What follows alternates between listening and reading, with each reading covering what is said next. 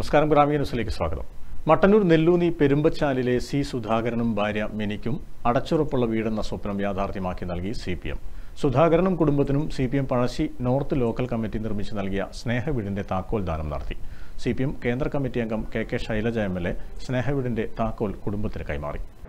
ഇന്ത്യയിൽ തന്നെ മറ്റൊരു സംസ്ഥാനത്തും വീടില്ലാത്ത മുഴുവൻ വ്യക്തികൾക്കും ഗവൺമെന്റ് വീട് നിർമ്മിച്ച് നൽകും എന്ന തീരുമാനം സ്വാതന്ത്ര്യത്തിന് ശേഷം ഇന്നോളം എടുത്തിട്ടില്ല. ചില ഭവന പദ്ധതികളൊക്കെ ഉണ്ട്. ഇപ്പൊ സെൻട്രൽ ഗവൺമെന്റ് പ്രഖ്യാപിച്ച ഐ എ വൈ പദ്ധതിയുണ്ട്. നേരത്തെ പതിനഞ്ചായിരം രൂപയായിരുന്നു കേന്ദ്ര ഗവൺമെന്റ് തന്നിരുന്നത്. ഇപ്പോൾ ഒരു ലക്ഷത്തി ഇരുപതിനായിരം രൂപ ആ പദ്ധതിക്ക് വേണ്ടി പറഞ്ഞിട്ടുണ്ട്. പക്ഷെ അതിൽ എഴുപതിനായിരം രൂപ സംസ്ഥാന ഗവൺമെന്റ് ആണ് എടുക്കുന്നത്. ബാക്കിയുള്ളത് കേന്ദ്ര ഗവൺമെന്റ് എടുക്കുന്നു. ഒരു ലക്ഷത്തി ഇരുപതിനായിരം രൂപക്ക് ഒരു വീട് പൂർത്തിയാവില്ല എന്നുള്ള എല്ലാവർക്കും അറിയാം.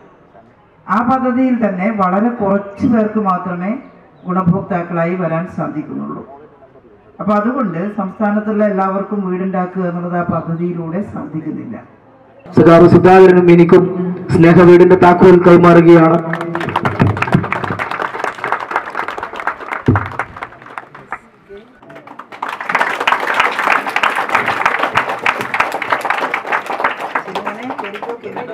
പേര് വരട്ടെ.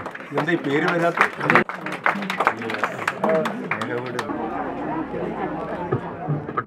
ബേക്കറി ജോലി ചെയ്ത് സുധാകരന് കിട്ടുന്ന തുച്ഛമായ വരുമാനത്തിൽ ജീവിച്ചു പോന്ന നിർധന കുടുംബത്തിന് വീടെന്നത് സ്വപ്നം മാത്രമായിരുന്നു. ആകെ ഉണ്ടായിരുന്ന പത്ത് സെന്റ് ഭൂമിയിൽ തകർന്നു വീടാറായ കുഞ്ഞു വീട്ടിലായിരുന്നു കുടുംബം താമസിച്ചത്. ഇവരുടെ അവസ്ഥ കണ്ടാണ് സി പി എം ലോക്കൽ കമ്മിറ്റിയുടെ നേതൃത്വത്തിൽ പൊതുജനങ്ങളുടെ സഹായത്തോടെ വീട് നിർമ്മിച്ചു നൽകിയത്.